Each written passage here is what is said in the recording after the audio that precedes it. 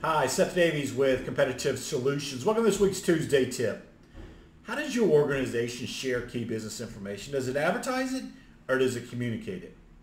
Most organizations advertise information and that's validated by the employee surveys which say communication is one of the top issues in the organization. Advertising is one way. It requires someone to read and respond.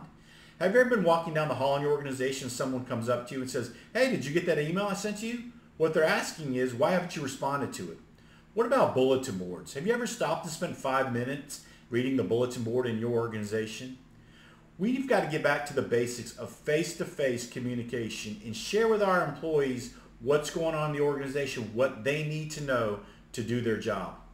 It also helps remove the rumor mill and the grapevine. Let's talk about how does this work.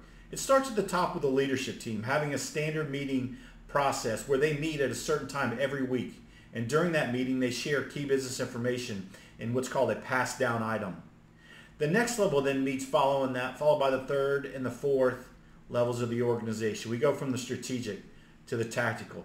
So by the end of the day or within the next 24 hours, every person in the organization has had a weekly face-to-face communication where they've talked about the business and they receive the pass down items. Take a look at the standard meeting agenda. Every team needs to use this agenda. They can't take away from it, but they can certainly add to it. But notice one of the key points on there, one of the agenda topics, passed down. This is where key information is disseminated out. Perhaps HR has information about the new benefits plan, or the IT department needs everyone to know about a server upgrade that's going to happen over the weekend.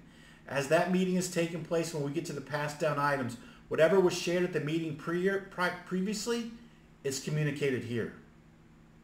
For communication to work in organizations, we've got to understand the difference between advertising and communicating. We've got to have communication of two-way face-to-face.